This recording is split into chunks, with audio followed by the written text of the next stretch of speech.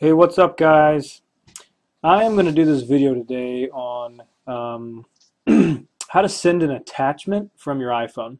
Uh, now this is something that's particularly important to me because of my job and when I first got my iPhone and figured out that you couldn't do that, I was pretty uh, distraught.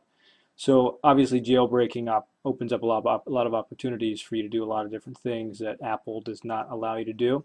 So uh, I have been searching high and low, and uh, maybe I'm just missing uh, a video that's already out there, but I've not seen one that shows how to send an attachment. So let's get started.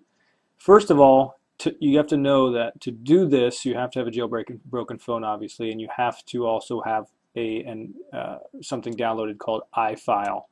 And so if you don't know what iFile is, Google it, uh, YouTube it, uh, and you can learn how to download that or how to get that on your phone.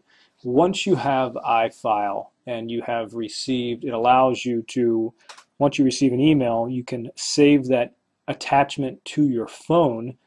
And then what you're going to do is you're going to go into iFile and you're going to send the attachment from iFile. And so iFile looks like this right here. So open up iFile then you're going to find the document that you want to send. Mine is just listed under attachments because then I know that it's been there attachments from uh, you know things that I've received. So I'm going to go in here to invoices and I'm going to open up an invoice here. And let's say that I want to send this invoice right here. The way that you do that is you hit edit, click on the attachment that you want to send, and then it'll give you an option at the bottom. It looks like a little mail you want to hit that, and then it opens up as if you're in your email. Go ahead and type in here where you want to send it to.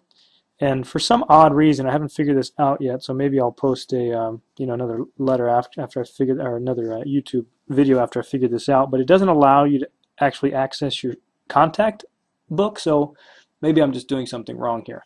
But if you start typing something in, normally it would come up with your different contacts. In this case, it does not.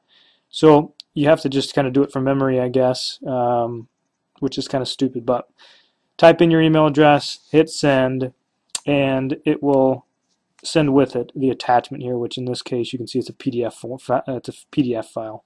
So um, I just stumbled upon it today, uh, and the crazy thing about it is you wouldn't realize that you could do it even if you had iFile, because if you don't hit edit, that little mail symbol is not down at the bottom. Only after you hit edit and you click on the document does it appear and give you that option then to send.